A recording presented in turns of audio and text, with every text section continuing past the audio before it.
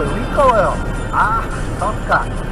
脚立乗っけてるやつってウインカーないんだっけか。って言われんだぜ。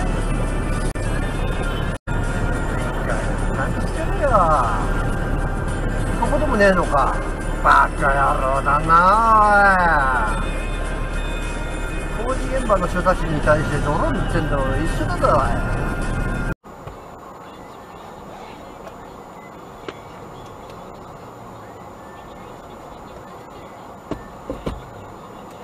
えー、なんで入ってくんの邪魔なんだけど。